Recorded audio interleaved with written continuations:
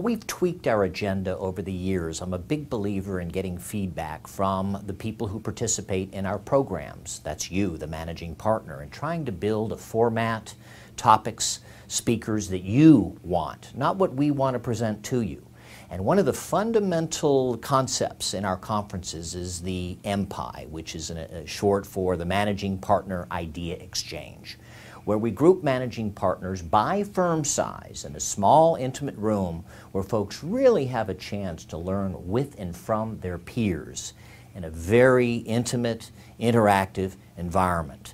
Uh, at these MPIEs, they're facilitated by well-trained facilitators, some of the best in the business, and we bring in experts on various topics that we know you as a managing partner are thinking about just about every day.